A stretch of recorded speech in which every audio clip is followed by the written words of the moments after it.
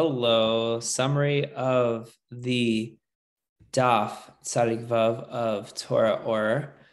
We learned in this Daf both Maimarim of Ubavaya Lifnei Melech and the Maimer V'kibel Yehudim Eis Asher The first Maimer talks about how the first 6,000 years of the history of the world is a time of concealment, and the last thousand years is a time of destruction of that concealment. And in the first 6,000 years, we have uh, different times where we ascend, descend and ascend as a people. Uh, we have our highs and our lows, and all the we. But at the end of the day, we keep ascending in the long run, and there's so many different levels we ascend spiritually and physically. Um, however, in the seventh millennium, in the the last seven thousand years, uh, we have a certain, I guess, uh, destruction of that um, of that concept of constantly elevating from level to level, but it's more of idea of a plateau where we finally reached our destination and we can kind of take a step back. Similar to the idea of Shemitah.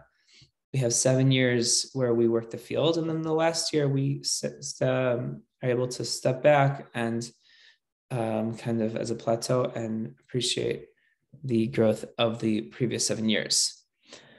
Um, so during the first 6,000 years of history, the main focus is on Torah and Maisim Tovim.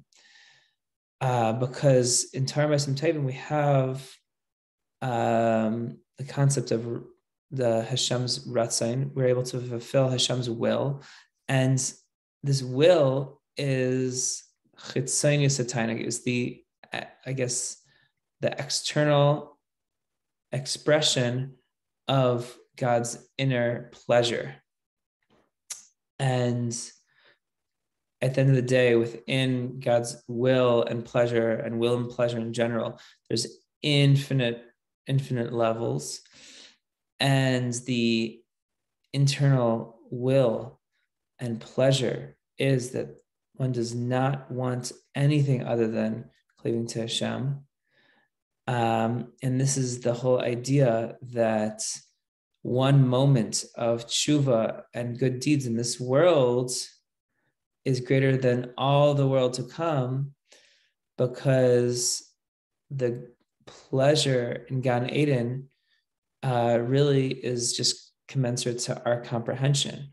But tshuva ma'asim tovim, that's the actual misses that we do down here, is able to, I guess, elevate ourselves to Hashem's essence, which is an ex, which is the an analog for the in the Purim story when Esther comes to the king.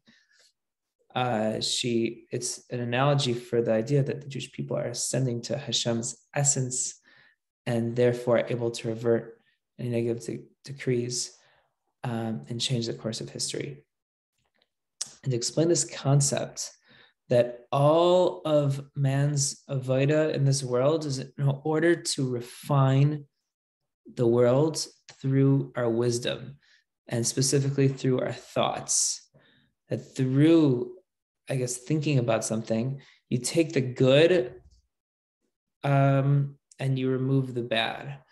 And so that's the whole idea of thoughts is you're combining different letters which is the idea when the king Achashverosh wrote the decree in his book.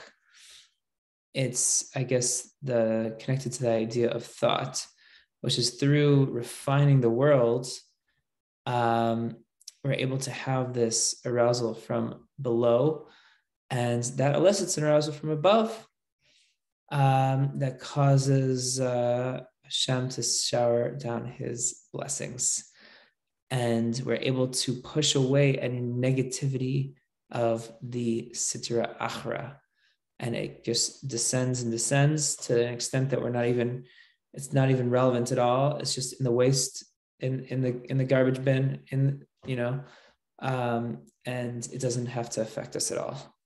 So the second mimer talks about the receiving of the Torah. That really, by the Purim story, we received the Torah. Um, the final reception of the Torah happened by Purim, and it started by Mount Sinai.